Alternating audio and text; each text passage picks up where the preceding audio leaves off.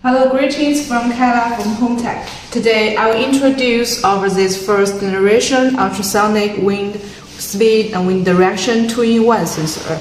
Yeah, and uh, you can see that it's uh, has a smaller size and uh, so it's very easy to transport and uh, install, especially suitable for the relatively narrow spaces such as uh, pipes. Yeah, and uh, you can see the it is the ASA material UV radiation protection, anti-electromagnetic, and uh, self-lubricating bearing, low resistance, accurate measurement. So it can be used outdoors for more than 10 years.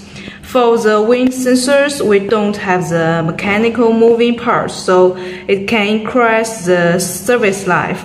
And the wind speed, wind direction probe integrated the upper panel, so it can not can be affected by the snow or rain. Yeah, it's very cost effective. And uh, this is our mini ultrasonic wind speed and wind direction sensor. And uh, this ultrasonic wind speed and wind direction two-in-one sensor can be also integrated with our wireless modules. And this is our wireless modules including 4G, Wi-Fi, GPS, LoRa, LoRaWAN, and we can also support our Smash server and uh, software for you.